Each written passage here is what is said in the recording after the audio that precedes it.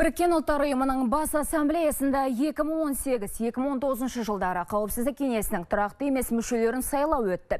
Оның құрамына Кот d'Ivoire, Кувейт, Польша, Перу және Экваториалды Гвинея кірді. Бұдан бөлек келесі жылы кеңеске Нидерланд елде енеді. Себебі өткен сайлау кезінде Италия мен Нидерланд екі жылдық мерзімді бөліп алған болатын. Италия миссиясын осы жылдың аяғына дейін атқаруы тиіс.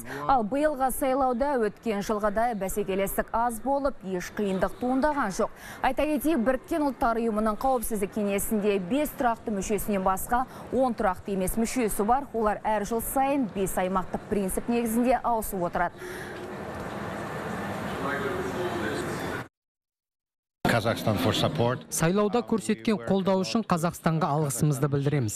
Біз Қазақстанның біріккен ұлттар ұйымындағы өкілдігімен тығыз жұмыс істеп, мол тәжірибе жинадық. Ал басымдығымызға келетін болсақ, ол дәл сіздің елге ұқсас. Қақтығысты болдырмай, бәрін бейбіт жолмен шешу, ғаламшарда қауіпсіздік пен бейбітшілікке ұмтылу. Бастамамызды Қазақстанмен бірлесе жүзеге асыратынымызға сенімім мол.